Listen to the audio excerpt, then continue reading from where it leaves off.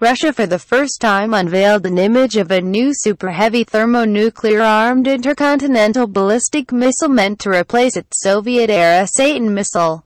The RS-28 Sarmat nicknamed Satan II by NATO will be high on the list of the world's most deadly weapons. It was developed by the Makeyev Rocket Design Bureau and has been in the works since 2011 in accordance with the decree of the Russian government on the State Defense Order for 2010 and the planning period 2012-2013, the Makeyev Rocket Design Bureau was instructed to start design and development work on the Sarmat. Read a statement from the missile's chief designers posted alongside the image.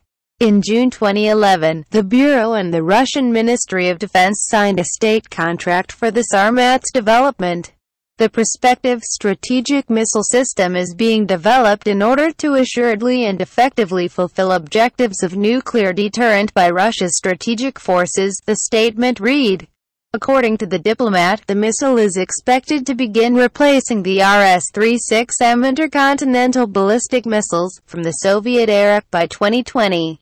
Moscow intends to completely retire the old class of missiles, which have been nicknamed Satan by NATO, from its strategic missile force by 2022. The photograph has been highlighted by Russian state-run media outlets, which reported that the missile is expected to go into production as early as 2018. Russia Today reported that the missile's first-stage engine PDU-99 underwent testing in August and a hypersonic warhead meant to fit on the missile was tested in April. Originally intended for a 2020 release, the Satan II is now expected to be operational by 2018.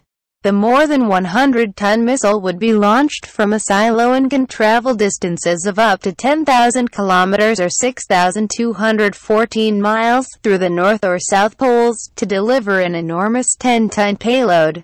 Though heavy, it is not slow, reaching maximum speeds of more than Mach 20, some 24,500 kilometers per hour or 15,220 miles per hour.